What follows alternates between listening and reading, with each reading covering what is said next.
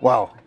Matt, a 47 Dodge Power Wagon? It is. Now, if this isn't an Oregon truck, I don't know what is. It is an Oregon truck.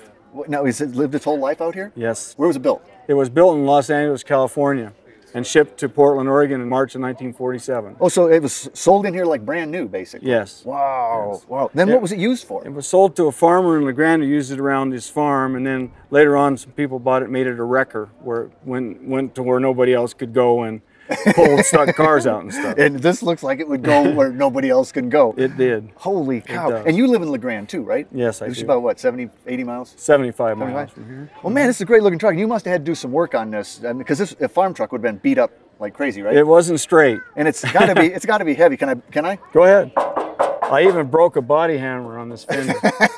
No, that's a fender, man. That's a fender. Did you have to beat that out? I've ground more metal off this than most cars are built from. Right. Well, you know, pretty original interior. I mean, you dressed up the seats a little bit, but otherwise, that's pretty much how the 47 Power Wagon looked, didn't it? right, except I put some gauges in the middle Okay, that the original ones work, but I thought that those were, you know, more accurate. which is nice. So nice I to put know it in there so on. I could watch things. Now these only went like 45 miles an hour or something like that. That's right, that. Wow. And is that what you still have it geared If that you- way? yeah, uh, I know I, I changed the gears so that it goes about 10 miles an hour faster than So you can do a romp in 55 in this, Yeah, it'll drive between 55 and 60 now on the flat. which is really fast for you know a, a truck like this. Moves this right thing- along. these things were made to climb walls. Well, you know it's got such a stance. I mean, this has got serious lift back before there was serious lift. Yeah, Man, I mean it's a it's a big truck and it was a wrecker at one time, right? that's right.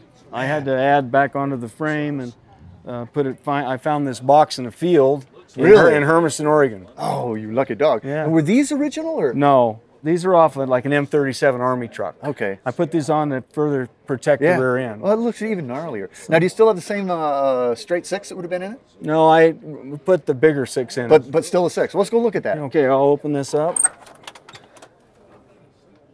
Wow. Man, that's a you know that's a pretty beefy looking six. Well, it's it's the next bigger size. It's a 251. They originally came with a 230, Uh huh.